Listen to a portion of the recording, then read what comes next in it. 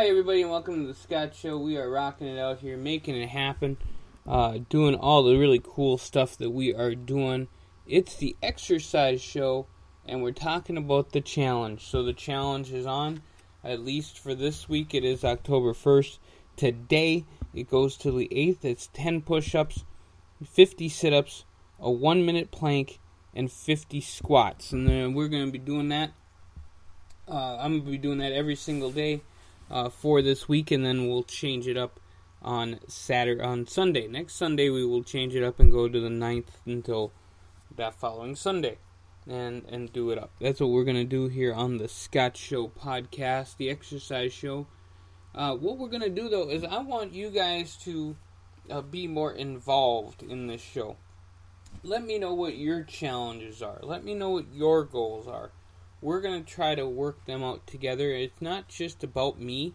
You know, often uh, people say, well, you know, it's just, it's all about, uh, it's all about the person who's talking and, and they're just going to do what they want and stuff like that. That's not the way it's going to roll here, folks. We're going to make it happen together. Uh, that's why I'm doing this exercise podcast. We're going to talk about how to better yourself in many different ways. We're going to have talks about how you can do that food wise, and you know, just everything. Because you know, you want to better yourself. If you want to be a better runner, if you want to be uh, better on the weights, uh, you know, if you just want to feel better about yourself, that's why we're doing this podcast, the exercise, the workout with the Scott Show podcast. Um, right next to me, I have a 10 pound bell. It's what I used for, um, it's the dumbbell and it's what I used for the squats. So I did a little uh, dumbbell squatting. 50 of those I did today. Uh, 50 sit ups. That was harder than I thought, but my floor was squeaky.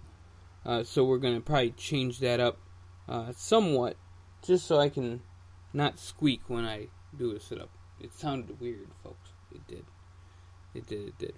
Alright, so I wanted to get to this, uh, folks, because it's a big uh, conversation. Anytime fitness who I absolutely love and I go to um, all the time, they uh, brought out a little blog talking about coffee with an estimated 2.25 billion cups of coffee consumed worldwide on the daily. I, I love that. On the daily.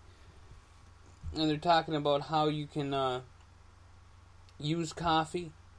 Um, it reduced your risk of uh, heart disease, type 2 diabetes, and liver disease. You know, just a little bit. Increases your alertness, your weight management, uh, by increasing your energy and increase longevity. So you can actually live longer uh, drinking coffee from uh, from this thing. You know, folks, I think that it's probably going to be like the egg in the long run and it's going to be like it's good, it's bad, it's good, it's bad, and the conversation will keep going and going until the end of time.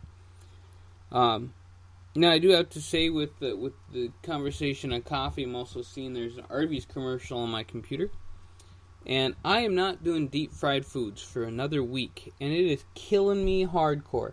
I did the I did the color run, and I also um, you might see the unicorn medal that is the picture on there. That's from the color run.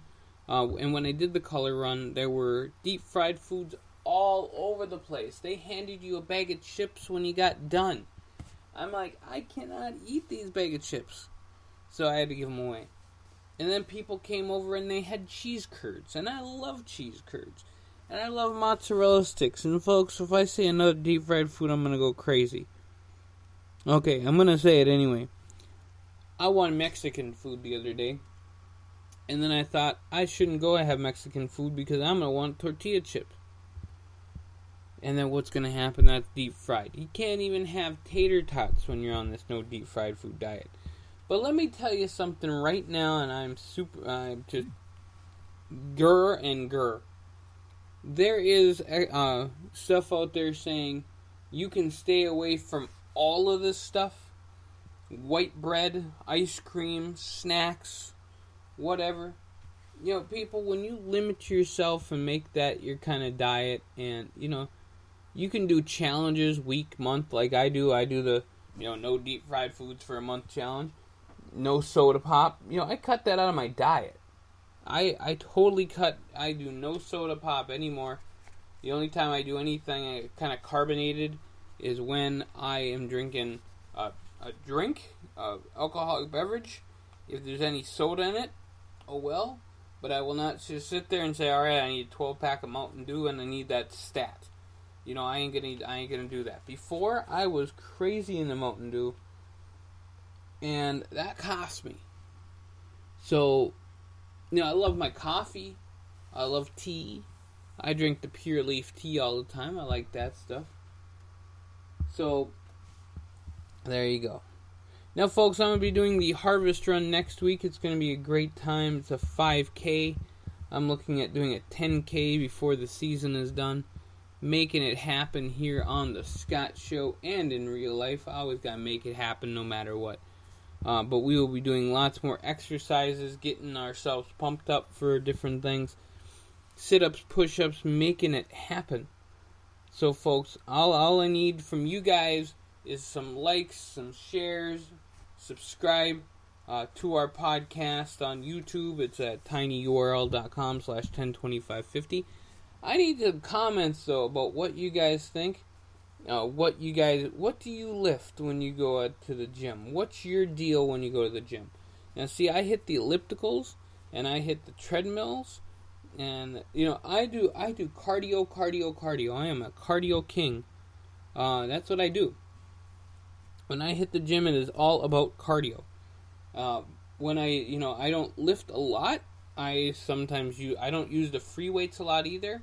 What I do is I go up to the um, place where the machines are, and I do the shoulder lift, and I also do the the chest lift. And man, I'll tell you, I feel pr- I feel pretty damn good about myself. I just gotta say that. I feel really, really good about myself because I, I think that I'm in better shape than I have been in a long time. I kind of showed that yesterday when I ran the insane inflatable um, 5K, and then next week, of course, the big harvest run. We're gonna make that happen. So, folks, I'm gonna get off of here right now. I wanted to get you guys day one of the exercise day. We're gonna have uh, something to talk about tomorrow. We're gonna talk about core exercising and what what you can do to better your core muscles and make them happen. Uh, get that six pack you don't have to buy at the store. Get that beach body, even though it's gonna be winter time, folks. Some of you are going on vacation. Um, I know it. You know, you don't have you don't have to be lying to me. I know you're going on vacation. I know you're going somewhere warm. Go to Puerto Rico and build a house. That's some exercise. Um, by the way, shout out to all the people that are actually doing that because there are people actually doing that and they are wonderful people. So I'm going to head out, folks. This has been Scott. This has been the exercise, the workout with the Scott Show show. So check us out, tinyurl.com slash 102550.